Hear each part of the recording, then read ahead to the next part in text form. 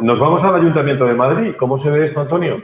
Desde, eh, iba a decir la función pública, bueno, desde, desde, el área que tú trabajas con, con, bueno, con muchísimos empleados, ¿no? Eh, que, bueno, siempre digo que sus mejores clientes son los ciudadanos. ¿eh?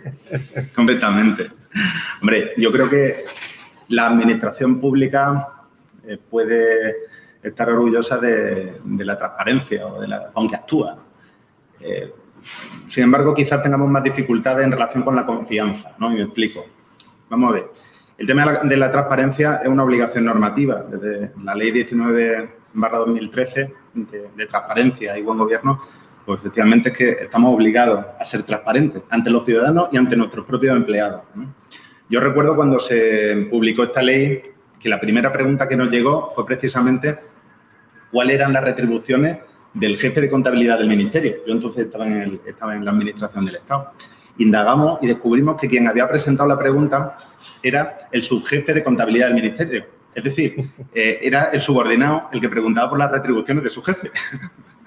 bueno, pues esto es impensable hoy en día. O sea, hemos avanzado un montón en una década, porque todo este tipo de información está publicada en la página web del, en nuestro caso, del Ayuntamiento de Madrid, dentro del eh, portalmadrid.es, y están todas las retribuciones de todo el mundo, están todas las agendas, eh, se pueden consultar la agenda mía de esta semana, es, que hay un grado de, publicidad, tanto los contratos, todas las subvenciones, eh, y si alguien tiene alguna duda puede ejercitar su derecho de acceso a la información, por cierto, sin necesidad de certificado digital, sino simplemente a través de un mero correo electrónico y se le contesta.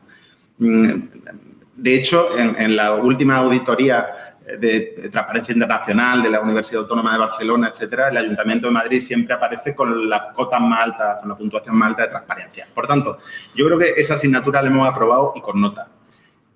Sin embargo, creo que tenemos eh, quizá alguna debilidad en, el entorno de la confianza. para generar confianza hacia eh, los ciudadanos, hacia las nuevas generaciones, para que nos vean atractivos. Esto quizás tiene que ver con ese cliché ¿no? de que de que el trabajo en la administración es monótono y repetitivo. Que, por cierto, si entráis en mi agenda os daréis cuenta que es monótona y repetitiva. Pero bueno, es el cliché que existe, ¿no? Y eso de alguna forma nos aparta de, las nuevas generaciones. Eh, y de otra parte, quizá una, eh, en el aspecto interno, una cierta apatía hacia ciertos sectores eh, funcionariales, no sé, derivada quizás de la rigidez administrativa o de la menores oportunidades de carrera. ¿no? Entonces, la solución que nosotros estamos poniendo en marcha desde el Ayuntamiento de Madrid es el programa Madrid Talento, con el que queremos reconectar tanto con los potenciales eh, candidatos a prestar servicios con nosotros como con nuestros funcionarios. ¿no? Tiene esas dos vertientes externa e interna eh, y que tiene cuatro ejes. planificar las necesidades de personas que necesitamos, atraer a, esas personas, seleccionarlas a través de procedimientos de, reclutamiento que sean serios, que, sean ágiles y, por último, cuidar de las personas, es decir, acompañarla a lo largo de, toda su carrera. ¿no? Y ahí yo creo que se dan cita los elementos de los que hemos estado hablando, de los que han hablado los compañeros de la, mesa. ¿no? Y, con esto, pues, de, lo que se trata es de reconectar con los candidatos de fuera y con el talento de dentro. ¿no? Yo creo que con esto eh, es una primera aproximación a lo que estamos haciendo nosotros, ¿no? En definitiva, creo que somos muy buenos en, transparencia y creo que, bueno, somos razonablemente buenos en confianza, con ciertas debilidades, pero estamos en ello gracias al programa Madrid Talento.